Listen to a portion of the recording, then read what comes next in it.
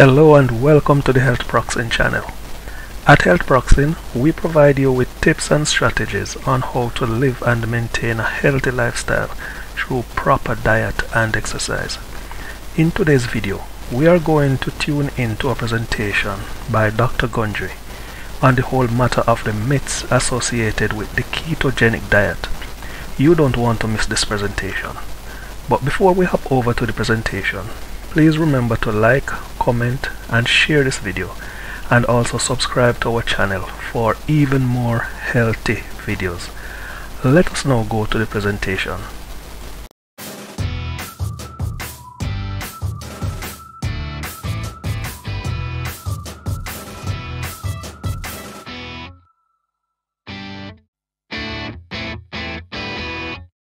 There's a myth that saturated fat is good for you. Uh, most of the folks in the paleo and keto communities think that the more saturated fat that you eat, the better. In fact, this was first posited as the cause of heart disease back in the 1950s by a very famous nutrition researcher from the University of Minnesota by the name of Ancel Keys. He published a very famous study called the Seven Countries Study that purported that animal fat, the more saturated fat that people ate, the higher their risk of heart disease. Now, he presented his findings to the World Health Organization, and the World Health Organization believed what he said. And so the low fat movement came about. Now, I've looked at Ancel Keys, all of his studies, I looked at them over and over again. And interestingly enough, Ancel Keys is tied for the longest living nutritionist in, on record. And Ancel Keys, I've had the pleasure of interviewing his housekeeper, ate huge amounts of olive oil. Now, olive oil is not a saturated fat. But what happened with Ancel Keys was people took his data and he thought they thought he was demonizing fat. He wasn't at all. He was demonizing animal saturated fat. So what I've looked at Ancel Keys data and my own data in that animal fats are associated with animal protein. And it was actually the animal protein that was the big mischief maker in the animal fat, the saturated fat hypothesis. Now, so having said that, the more olive oil that I can get into you, the better your longevity and the better your brain health. And I've got a lot of tricks in the longevity paradox to tell you how to use olive oil or the polyphenols in olive oil to maximize your brain health and your lifespan.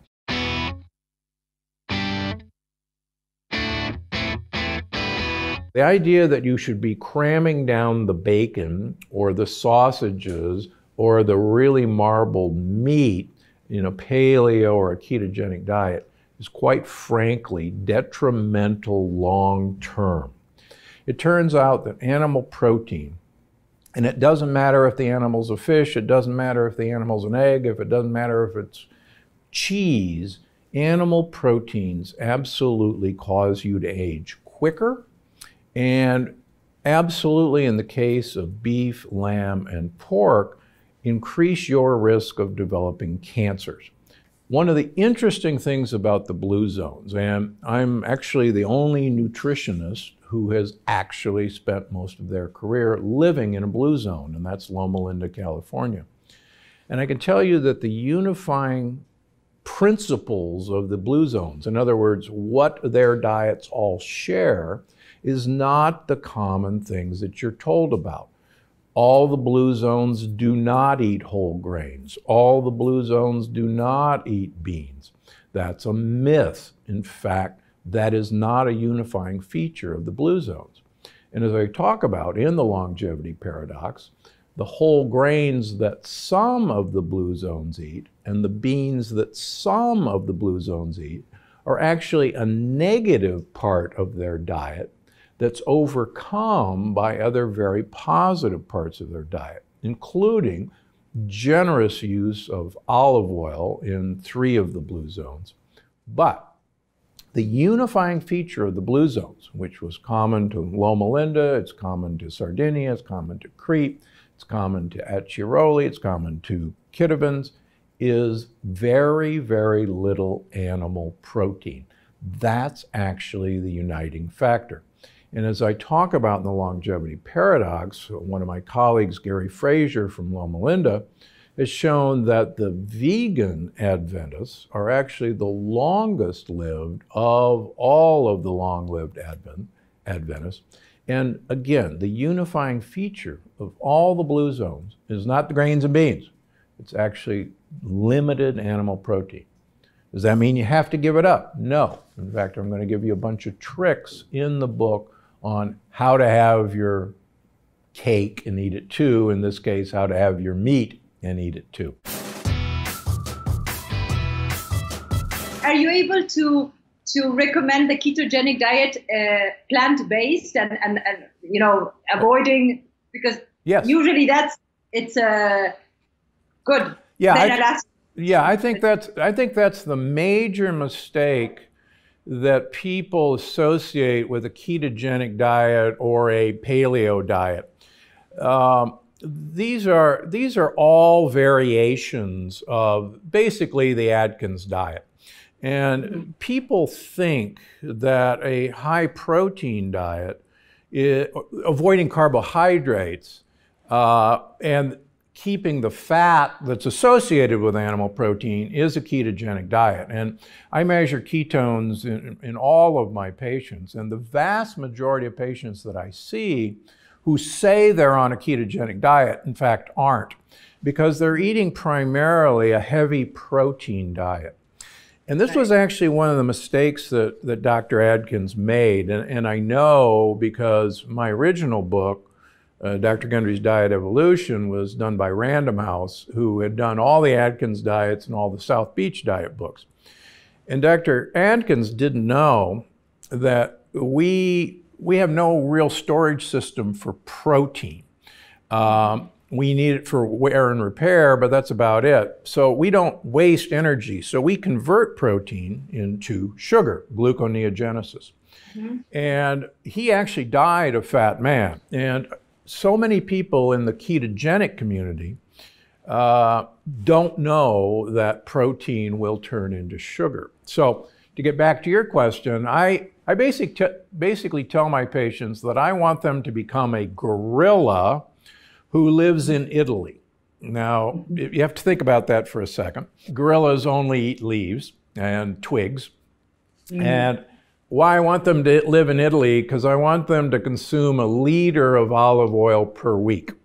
Uh, mm. And that's a huge amount of olive oil. It's about 12 to 14 tablespoons a day.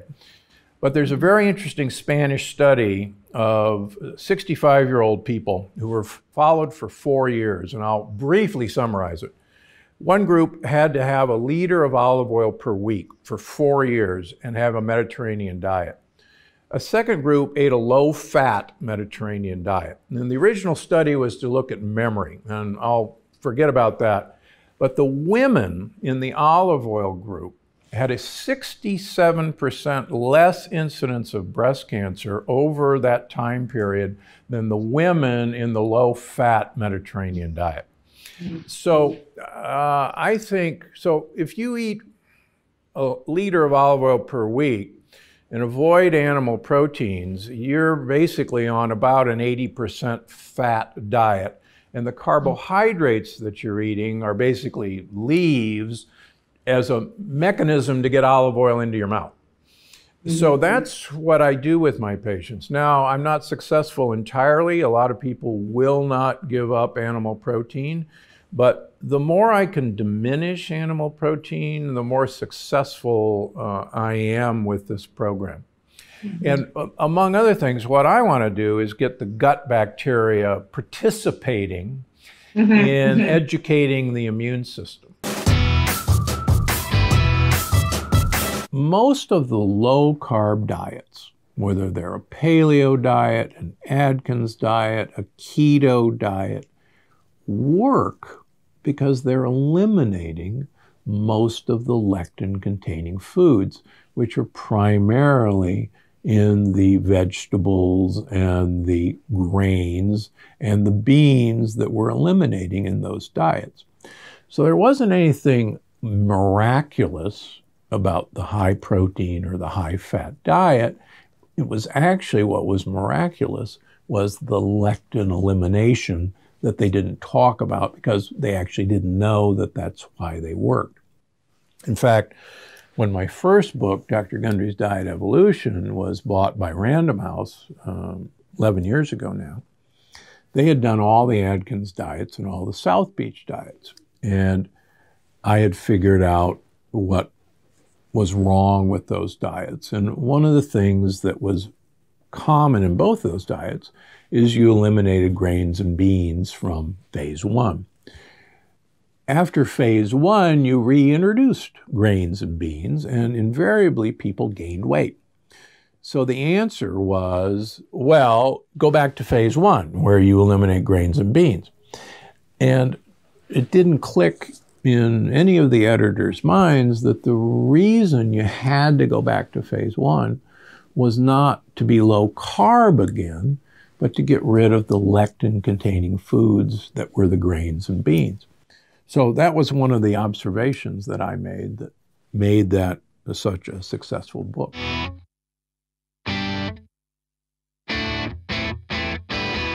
You know, a lot of people that are doing the ketogenic diet actually think all fats the same. Like they don't really decipher really good fats from bad fats a lot of time. And so really the reason why I wrote this book was to really dive deep and try to understand is there a difference between let's say the fat in an avocado or the fat in wild seafood and let's say the fats in bacon or butter and it turns out there is a big difference.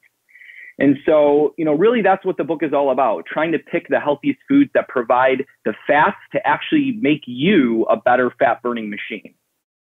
So you mean there is a difference? I shouldn't eat a stick of butter every day uh, if I'm on a ketogenic diet. That, that's that's not good for me.